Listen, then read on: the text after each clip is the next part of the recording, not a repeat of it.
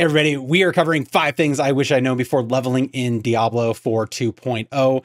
There has been so many changes. The game is going to be completely different. I consider it almost like Diablo 5. The changes are so huge.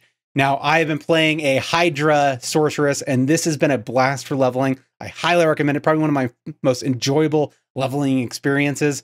And that's not just because of the Hydras, but because of some of the changes. And so I want to jump in there and talk about the things that kind of struck me or things that were exciting, just to give you guys some insights and even possibly some tips to level faster in next season. So let's go ahead and go inside. I want to just talk about the very first thing was as I started leveling, I realized that as the process has been so far, there's been a major focus of just kind of getting ready for the capstone. I'm not really that worried. In early game, I'm not really worried about my gear. I'm not really worried about anything else other than getting leveling up so I can get strong enough, get some skill points, and then get through that because I know in the in the next area I'm just going to replace everything anyway. So spending a lot of time on it didn't make a lot of sense. But it was weird without them. You know, that's the thing that kind of struck me. I got to like level 25, 30, and I realized how much of these are just an iconic marker for the leveling. And it at first I was worried that hey, this would feel wrong. But as I persisted, as I continued, as I got to the level 35 and 40 and 50 when I would have probably gone through the cap the second capstone, it was actually very pleasant not to have to do that because I was basically ramping up everything just to move to the next area. And the area would immediately make you drop all of your gear and replace it. So, what they have set up is they have these eight areas now. I don't know if they're going to extend them or what they're going to do, but we have normal, hard. These are kind of like world tier one and two when you're making a decision on leveling. As you level up a little bit, it open up this ability to do expert. There is a decent jump, especially in early game, if you don't have your build and your pieces online between these two. This isn't even going to open up until level 50.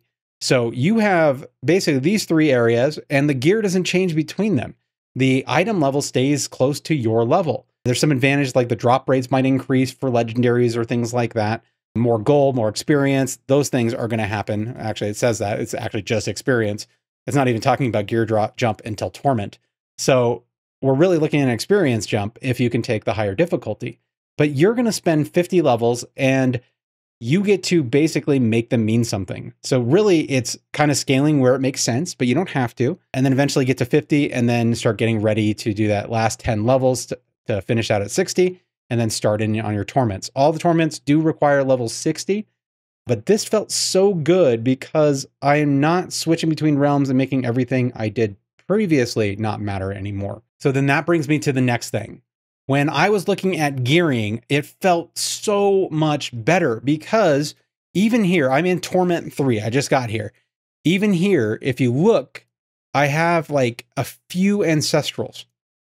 And so, what this has done, not only in the early game does your build start to matter, but you're going to be there for 50 levels. And the gear you get, other than increasing item levels, is gear that matters. And since you're not going anywhere and just dropping it all at once, it makes sense to level it up. It makes sense to play with tempers. It and it is moving, you know, fast enough in the early game, but it starts to slow down around 35 and 40. So you are actually starting to build a serious build. And then when you cross over into Torment, you aren't immediately replacing it with all ancestrals. They're dropping ancestrals. I was a little disturbed. I was like, why are they not dropping? I thought the PTR was just like limiting what we could get. But as I started playing through it, it started making a lot more sense. My build matters throughout the game. It matters throughout early game. It matters to take a little extra time and make sure that I have the pieces I want or aspects I want to play with. And it gets tighter and tighter as I go. It feels like constant progression. Then when I get ancestrals, it's a big deal. When I add them to it, it makes a big impact on the game.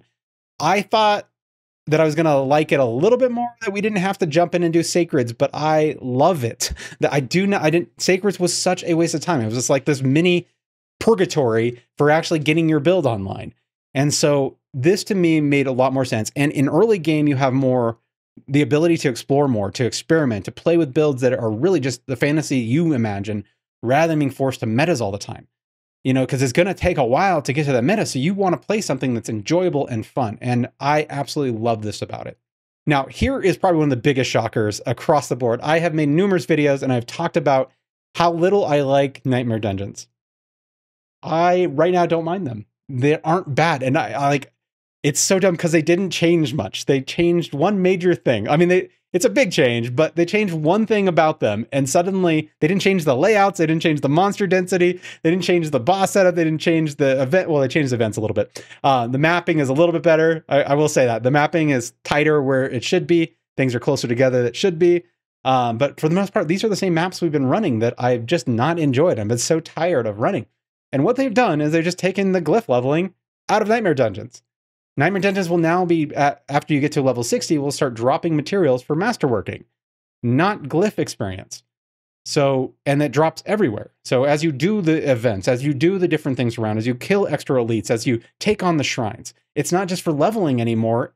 Uh, it is for getting the mats for masterworking. You're not just trying to get through to get that glyph level.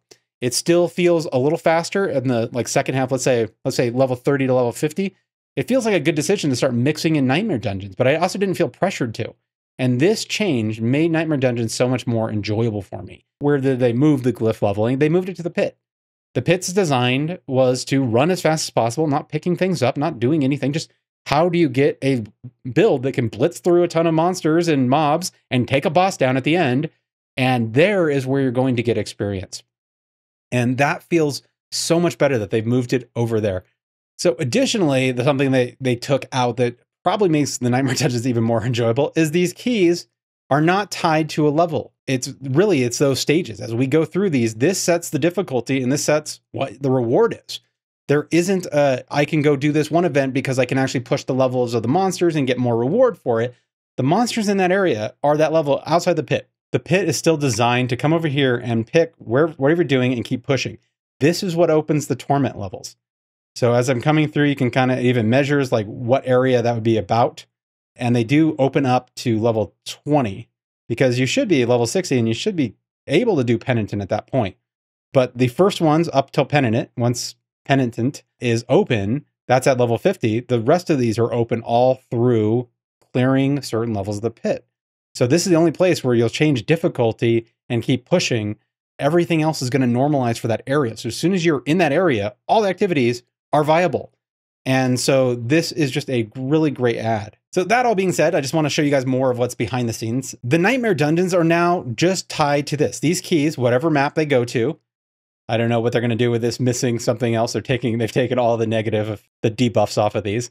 And so they just run. If you, I move to Torment 1, I don't have to reset my entire set of keys because it's tied to the, whatever area I'm actually in. That makes it a lot cleaner for managing and you just don't have a ton. If you also notice while we are there, this is in its own bag. it is no longer shoved into our gems or into our potions. There's still a lot going on with the potions in the mat. That still adds up pretty quick. But the dungeon keys are in their own thing. And I'm guessing horde keys are going to be here too. So this is a really great ad. We're getting more choices to just take things and put them in places where they actually should be. Why is everything jammed into our potions tab anyway? Why is why isn't mats actually just being treated as materials. You know, like why isn't it held here like our obducite and all the other stuff that we like collect over time? Why can't our boss mats actually be there too? So this would be great. I hope they kind of move this direction. But this felt amazing and made the Nightmare Dungeons way more playable. So I know that was more than just Nightmare Dungeons, but I'm excited to share what's in here. I've had a blast, and that's one of my favorite things to do is actually share with you guys what is really cool coming down the pipeline and get you guys ready and excited because I think that makes the game more enjoyable to, to be looking forward to something. And next season is going to definitely deliver some crazy new changes. And I can't wait to get into it, including what's next. And that is the Paragon board. Now, I heard there's some crazy changes coming to it, and I wasn't really sure how I felt about them. But when I got in, it felt pretty awesome. So, the first thing they did, and I hope they do keep this, I know some people were grumbling about it, but I really do like it. They limit the number of boards to five.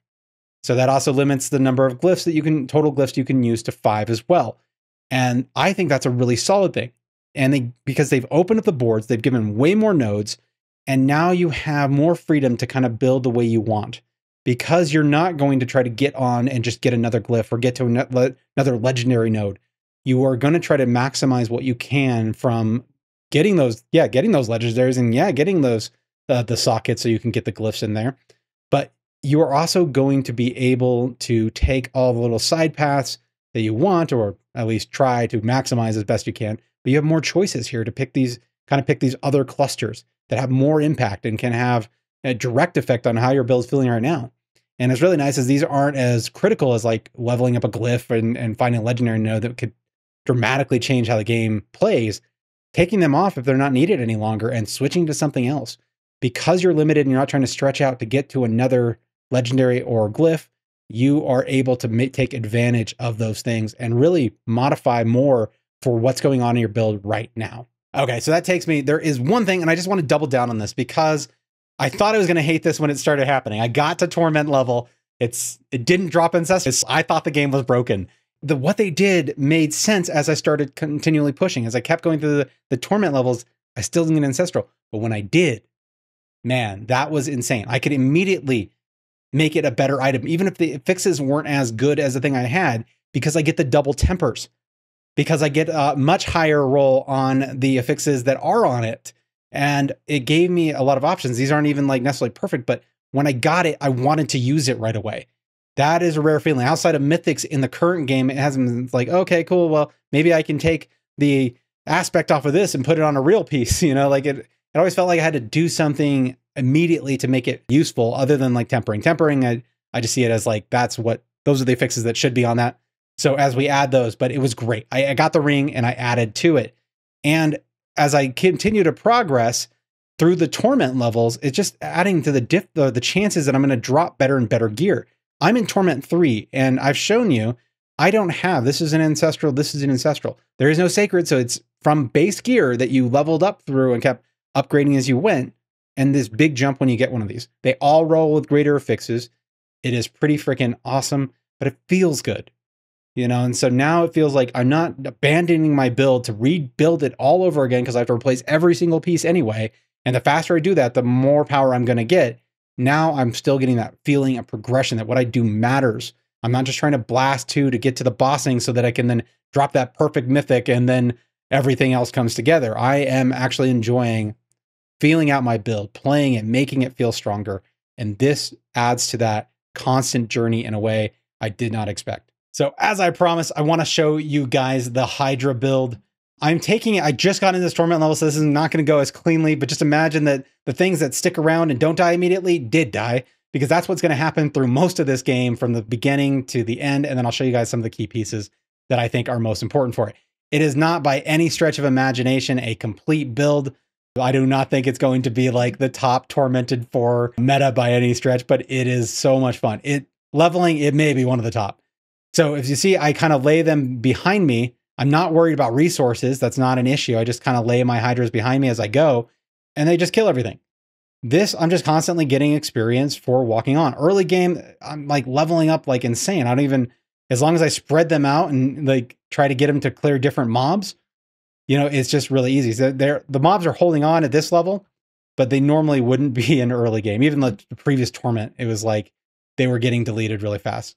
So, but a great play style for leveling. You are not in the thick of things. You get to keep their mobility, and the leveling just goes like crazy. The boss killing is awesome. Loading like all three, like right on top of something, and letting it do its thing is just a really great feel. Two things early game, the two things that matter most, and I'll give you one additional, maybe three, so three things that matter most, but in order of what matters is first getting a two handed weapon and then getting a temper on it. Right now, I have single handed weapons so that temporary, the second one, casted hydras have additional heads. This is the difference. On a staff, this is two to it's two to four additional heads. So I rolled like right away, like eight to ten. I got uh, my first yellow that I could temper on, and I threw this on there and got four Hydra heads, doubling the size of the Hydra. So it's this big ring, as you saw, insane. That was the first thing that made a huge difference. And most, like I think up to 2025, that was all that I needed to do to make this build just feel incredible. Then I started getting some aspects. Serpentine chain, this thing, or serpentine is the aspect, but you have an additional Hydra. So now I have the two of the heads, 16, and another one that's 24 heads, just eliminating everything and giving me that chain. So as I go through and I'm walking and I'm just kind of planning them, I have this long chain of it, just like they're still, all three batches are killing. And then if I just plant all three around the boss, they're all shooting in on the boss. It's it's just a crazy boss killing machine as well as a mob clear the burn damage that it adds and leaning into that is just incredible. So the serpentine, and then the last thing was just the tempers that I could do pretty early. It's if you anywhere I could, I got the Hydra damage increase. So this one has the additional Hydra damage. So doing that just made it really come online. And I it was so good that I think even if it wasn't the ancestral roll of these tempers, which they just unlock for the I, I think they unlock for the PTR, but maybe they're gonna open that. Is that's just me how the standard is from now on, but I'm not sure. But even if it's a lower form of that and you get like an extra head for, you know, or two for having a double handed weapon, it's still going to make a big difference. And that damage, even if that damage is 80, it would make a huge difference. It is a real, real blast to play. Now, the other thing that I added that's, that I'm playing with is what enchantments to use. Uh, early on, was doing boss killing. I noticed that just adding different sources of burn damage plus extra damage when things were burning and having things increase in damage when I had different types of burning applied or burning from different abilities really added up to a lot of damage. I am now kind of in between as I'm trying to push higher and higher. I'd like to see better clears of the mobs of what I just saw and want to go to maybe a critical. But this one in early game matters a lot. That fireball enchantment, it just explodes. So anything that dies, you explode everything around it, even better for mob clearing. So this is really the setup. Those pieces is what made the early game. Then you just kind of look through the aspects. Does anything add more to burning damage? Does anything add more to if it's immobilized? Because you can actually force it in the skill tree to have fire skills now immobilize. So it's just a great, great add-on. If you go to Tal Rasha's ring eventually, like I got this around probably level 35, 40, I'd say. Tal Rasha, I don't know if that's how often it drops or I'm totally lucky at that point, but I did get this pretty early and it was nice. I This isn't the level I got of it. This is a, an upgrade sense, but I did get a, a lower version. The item power wasn't 750. Those, those tend to drop when you finally get to like level 60. That's where you start seeing the 750s consistently drop. So but replacing that out, now I'm looking for different elemental types of damage. Just really a great feel, really great clears. So I'll, I'll float over. I'll show you the skill tree. The Paragon board is not done by any stretch. Feel free to play with that however you want. But this is where I'm at right now. Um, let's go from the top. Let's go full screen so you guys can see it. I'll scan through. As I get this perfected, I may come back and add to the description a what I think is a final build. I do want to check if it really does play well in endgame. If not, I'll, I'll still go and what I'll do is create at least a version that has no unique requirements. And so that you guys can you guys can mess with that even if you're doing truly just leveling with it. And then maybe switching to something more powerful in the end game. But yeah, these are the stacks. Uh, this is kind of what I've run. So obviously we're heavily focusing on the fire nodes. I'm crossing, or I did play with familiars a little bit because it can rotate through the elements but I, am trying to actually switch that out and see if I can get the different elements applied in a, you know a quicker way. I've been switching out with ice blades at times. You know, I'm just trying to see what will really blow it up. And the Paragon board is not. Even, I don't even have the glyphs that I want for that yet. So, but this build, honestly, without glyphs, with just a little bit of knowledge in the skill tree, is going to make a huge difference to how great your leveling feels. It just feels great to just walk through and like just a powerful sword just slamming things behind you that just wipe everything killing bosses with that bleed damage. Oh, I did want to show you that is one thing I did want to show. So as you come down on the board, if on the skill trees, right here is uh, this immobilization that adds extra uh, vulnerability to monsters and can trigger other skills and extra damage. So when you're when you're paying attention, things that add burning or aspects that affect like when something's burning or when something's immobilized or when something is vulnerable, then you can start. This starts to apply it we can do that in many different ways, but this is the one I mentioned earlier. Now, there is just so much, and I, I want to share as much as I possibly can. I'm actually really excited. This is, uh, since I, as long as I remember, I'm like a kid that wanted to play, get really good, and then share it with all his friends. And that's what I feel like I'm doing. If you guys are still playing Diablo 4, make sure you catch the, my absolute favorite OP endgame tips to help you get the most out of your endgame.